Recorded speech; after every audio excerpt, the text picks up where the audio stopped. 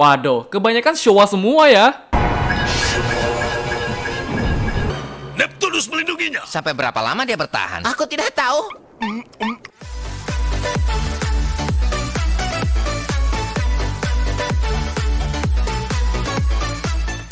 Halo guys, kembali saya DJ Chandra dengan bahas kaiju paling banyak di request.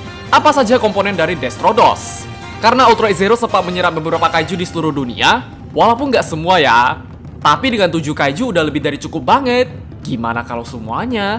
Dan termasuk sebagai Annihilation Armor Monster, Senmetsu Kiko Kaiju Destrodos. Bahkan kemarin sempat balik lagi di trigger episode set, itu pun model kaiju medal doang loh. Gila dah, kaiju se-OP ini di-convert jadi medal. How that happen? Kok iso? Pastinya jadi kaiju favorit buat penonton, apalagi fans Ultraman Z. Kurang lebih ini dia guys semua komponen dari Destrodos. Langsung aja check it out. Yang pertama, Ultroid Zero.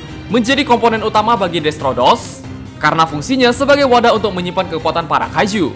Sekaligus Celebro pengen ngincar D4 juga sih. Walaupun sempat bikin penasaran, ini base-nya kalau diganti jadi Scavenger, Windam, atau Kinjo gimana pula ya? Bisa jadi Kinjo Storage Custom. Tapi sayangnya yang dipilih tetap Ultroid Zero. Mungkin jauh lebih stabil kali. Dengan dikendalikan oleh Celebro membuat robot ini kembali mengamuk. Markas storage hampir hancur lebur, dan sempat terbang ke seluruh penjuru dunia untuk mengincar beberapa kaiju. Selain sebagai wadah, Ultra Zero bukan sekedar base doang, yang lain juga diambil. Contohnya kokpit buat ngendalin Destrodos, terutama jurus D4 Apalagi bagi Ultra Zero, jurus ini stabil banget. Wajar kenapa Celebro lebih ngincar ini. Kalau gak ada jurus D4 dijamin Destrodos gak bakal sekuat yang sekarang. Jurusnya sih macem-macem, cuma masih OP D4 Kemudian kalau kita mau soal desain ini detail yang bagus banget, bahkan jarang disadari loh. Ada sedikit retakan kepala Ultra Zero di beberapa bagian kepala dan leher. Kan base-nya robot ini. Scene berubahnya pun juga ditunjukin. Jadi detail begini tuh pasti makin menarik. Oh iya itu kabel di bagian badannya sama juga ya. Intinya tanpa Ultra Zero, Destrodos gak ada apa-apanya. Komponen yang penting banget guys. Yang kedua, Crescent. Selanjutnya lebih fokus sama kaiju-kaiju Sowa. Dijamin beberapa dari kita bakalan pusing bentar. Emang sih itu termasuk toh. Di sini ada Crescent, kaiju yang muncul pertama kali di series Ultraman 80, episode pertama lagi, dan sekarang menjadi komponen untuk Destrodos. Berhubung di Universe Z masih banyak kaiju yang hibernasi, pasti mereka bakalan diincar lah.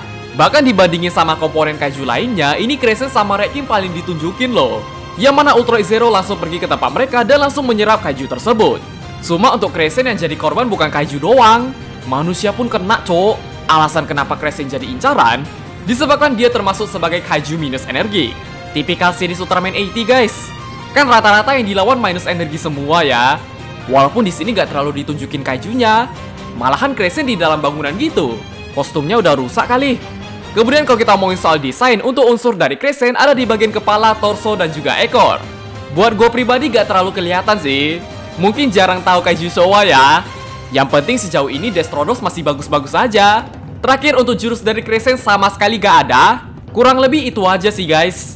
Yang ketiga, Astron. Waduh, ini kaiju yang lumayan ikonik juga loh. Kalau nggak salah terakhir munculnya di Ultraman Saga deh.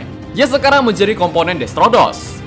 Muncul pertama kali di series Ultraman Jack, episode pertama dong. Walaupun dari segi penjelasan memang agak minim.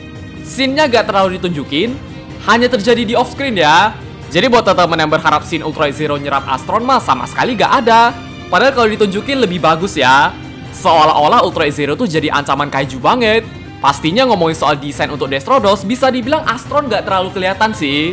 Yang diambil cuma bagian tanduk doang. Selebihnya untuk badan, kepala, tangan, puff. Tapi soal jurus mungkin ini kombinasi sama Crescent kali. Yaitu Destrodos Breath.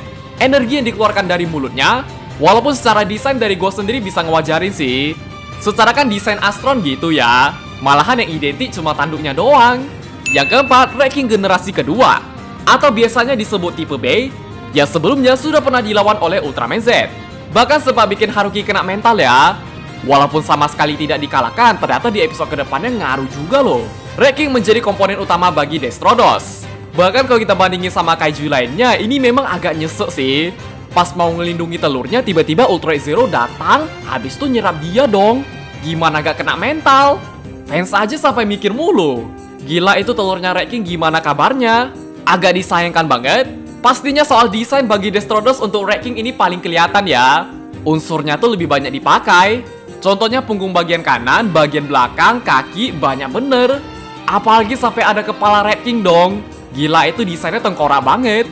Bisa jadi easter egg juga tuh. Terakhir ngomongin soal jurus kita gak bisa berharap banyak. Red King emang jurusnya apa? Dia kan lebih sering main fisik sama lempar batu gitu ya. Mana ada jurus kosen? Tapi dari segi pertahanan jauh lebih kuat. Jadi setiap kaiju ini ada kelebihan sama kekurangan masing-masing. Ada yang kurang didesain tapi jurusnya OP, ada yang banyak didesain tapi jurusnya gak ada. Semua balik ke rencana awal Suburaya sih. Mungkin biar gak terlalu berat ke ranking kali. Silakan ngasih pendapat di bawah guys.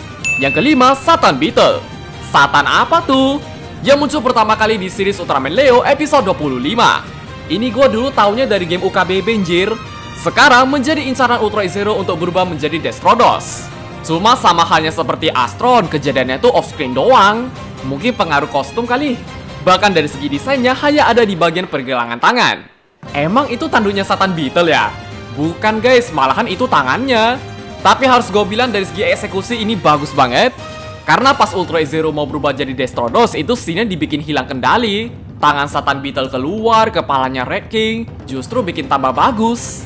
Ngomongin soal jurus untuk Destrodos diambil dari sini juga yaitu Destrodo Hellfire dan Destrodo Falas. Kaiju ini bisa mengeluarkan misil dan tembakan peluru antara bawaan Ultra Zero atau enggak Satan Beetle. Kurang lebih gitu aja sih. Yang keenam, Burdon. Waduh, ini mah kita semua udah tahu banget. Zofi jadi aib ya. Dan juga termasuk sebagai komponen Destrodos. Kalau soal debut harusnya kita udah tahu munculnya di mana. Walaupun dari segi scene-nya sama juga, off screen weh. Padahal untuk Burdon harusnya bisa ditampilin. Kostumnya ada loh. Mungkin tempatnya kurang cocok kali ya. Biasanya sih Berdon di gunung berapi gitu. Seperti biasa soal desain bisa dibilang Berdon ini paling jelas banget. Ada di bagian tangan dan juga sayap. Berfungsi untuk menyerang dan terbang. Walaupun bagian tangannya gue sempat ngira itu Bemstar. Kan bentuknya sama guys. Kalau sayap mah udah jelas itu Berdon. Pastinya ngomongin soal jurus ini juga ngaruh. Ada Destrudo Reaper. Energi slash yang dikeluarkan dari bagian tangan Mungkin versi kopi dari Delta Giga Reaper kali. Selebihnya untuk Berdon keren parah. Paling scene-nya aja sih. Yang ketujuh ada Majaba. Loh, loh, loh, loh. Itu kaiju apaan, Bang? Dijamin kita semua baru pertama kali dengar ya. Jadi kaiju ini muncul pertama kali di series Ultraman Great. Pantesan aja gak tahu. Kalau nggak salah di episode 8 deh. Ternyata juga berpengaruh bagi kemunculan Destrodos. Secara scene pun sama, kejadiannya off-screen ya. Tapi untuk Majaba gue bisa ngewajarin sih. Karena infonya Ultra Zero sampai terbang ke Australia dong. Cuma buat ngincar Majaba doang. Secara desain hanya ada di bagian depan. Kurang lebih sama seperti kaiju sebelumnya.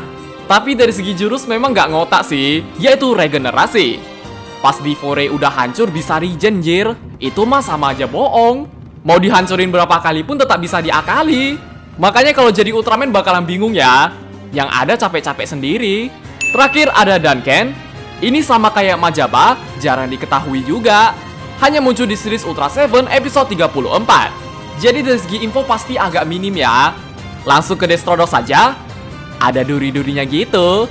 Cuma kalau soal jurus memang nggak ada. Masa kaki ngeluarin kosen? Tapi dari segi fisik lumayan berdamage. Selebihnya ini kejadian off screen, itu aja sih. Oke guys, jadi segitu aja untuk semua komponen dari Destrodos. Banyak banget, kalau ditotalin ada 8 ya. Walaupun gak semuanya ditampilin, rata-rata off screen semua. Makanya untuk Crescent sama King itu gue salut sih. Scene-nya ditampilin dong. Jadinya kita yang nonton bisa dapat gambaran. Oh, cara nyerapnya gitu toh. Sehingga Ultra Zero bisa berubah menjadi Destrodos, Fusion Kaiju. Kalau nggak salah ngambil referensi dari Final Boss Ultraman SD. Panis gitu aja guys, kalau pada punya pendapat yang lain silahkan aja komen di bawah. Jadi coba like, share, subscribe, dan sampai jumpa di video pembahasan Kaiju Ultraman yang lainnya. Bye-bye!